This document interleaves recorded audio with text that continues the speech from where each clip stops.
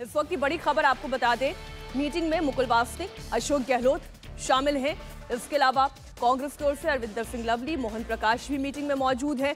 आम आदमी पार्टी की तरफ़ से संदीप पाठक बैठक में शामिल हो चुके हैं।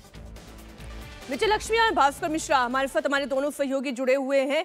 आ, पहले विजय लक्ष्मी आपका रुख करते हुए अगर पंजाब के पिछले लोकसभा चुनाव के हिसाब से कांग्रेस की स्थिति देखें तो ज़्यादा मज़बूत दिखाई देती है। लेकिन आ, कांग्रेस की रणनीति क्या है? पहले बात पंजाब की और दिल्ली की, दोनों की कर लेते हैं। देखिए, मीनाक्षी, मुझे लगता है कि बहुत अचंबा नहीं होगा अगर पंजाब में अलायंस को लेकर के कोई बातचीत जो है वो ना भी सफल हो, क्योंकि पंजाब में एक थ्योरी ये भी है कि अगर आम आदमी पार्टी और कांग्रेस अलग अलग लड़े तो इंडिया ब्लॉक के पास ही पंजाब की सारी सीटें रहेंगी।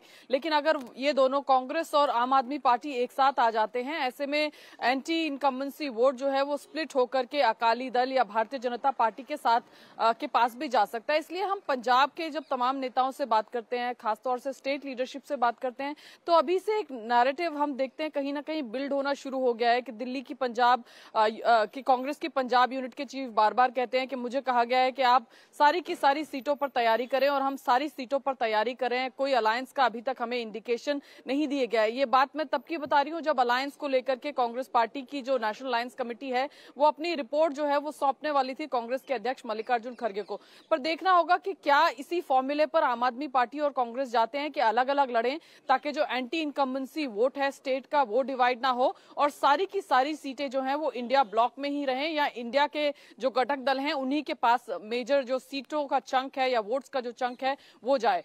एक फॉर्मूला तो ये है। दूसरा फॉर्मूला ये है कि कांग्रेस पार्टी जिस तरह से कह रही है कि क्योंकि सारे आठ के आठ सांसद उनके पंजाब से हैं और कांग्रेस पार्टी कोई भी सीट छोड़ने के मूड में नहीं है। वहीं आम आदमी पार्टी अपने असेंबली इलेक्शन का ठीक है इंतज़ार और करते हैं। मीटिंग का सिलसिला तो अभी शुरू हुआ है विजय लक्ष्मी कांग्रेस और आम आदमी पार्टी के बीच दिल्ली और पंजाब को लेकर बैठक हो रही है लेकिन बातचीत शुरू होने के पहले ही दिल्ली के मुख्यमंत्री अरविंद केजरीवाल ने गुजरात में अपना उम्मीदवार उतारने का ऐलान कर दिया है।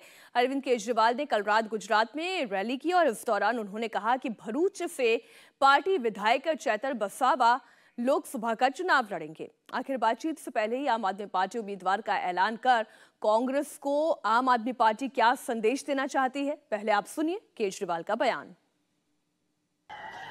दोस्तों, आज मैं ऐलान करना चाहता हूँ। आम आदमी पार्टी की तरफ़ से आने वाले लोकसभा चुनाव में भरूच सीट से चेतर वसावा लोकसभा का चुनाव लड़ेंगे।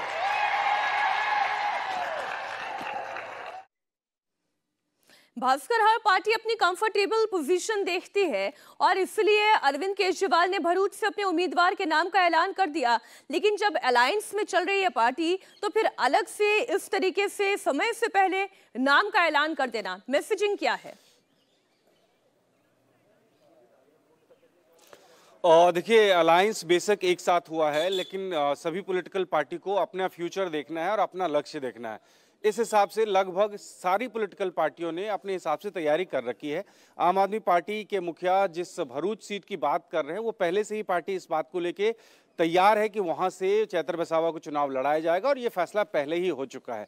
जहाँ तक गठबंधन का सवाल है तो ये मान के चलिए कि गठबंधन में जो सीट शेयरिंग की बात हो रही है, वो मुख्य तौर पर दिल्ली को लेकर हो रही है।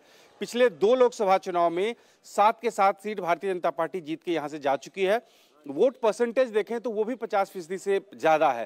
तो इस लिहाज से दोनों ही पॉलिटिकल पार्टी को ये लगता है कि यहाँ पे एक साथ आना फ़ायदेमंद रह सकता है और कोई एक दूसरे के लिए अगर सीट छोड़ता भी है तो इसमें किसी का नुकसान नहीं होने वाला है। लेकिन नुकसान कहाँ हो रहा है? पंजाब में। अगर पंजाब में आम आदमी पार्टी कांग्रेस के साथ लड़ेगी चुनाव तो आम आदमी पार्टी को ये लगता है कि उनकी सरकार है, वहाँ मज़बूत स्थिति में पार्टी है, ऐसे में नुकसान उनका वहाँ पे होगा। तो इस हिसाब से एक ये थ्योरी दी जा रही है कि केरला में जैसे अलग अलग चुनाव की बात की जा रही है, एलडीएफ, यूडीएफ की, उसी हिसाब से पंजाब में होना चाहिए। कारण भारतीय जनता पार्टी का कोई बहुत बड़ा स्टेक नहीं है वहाँ पे उस राज्य में। लेकिन एक डर जैसा कि विजय लक्ष्मी ने भी बताया था कि अगर ऐसा होता है तो फिर इसका फ़ायदा अकाली को ना मिल जाए। तो ये देखने होगा इस मीटिंग में। लेकिन आम आदमी पार्टी और कांग्रेस के जो प्रदेश के नेता हैं पंजाब के वो लगभग मान चुके हैं कि हम लोग अकेले चुनाव लड़ेंगे अलग अलग चुनाव लड़ेंगे। भारतीय जनता पार्टी यहाँ पे कहीं से सीन में नहीं है।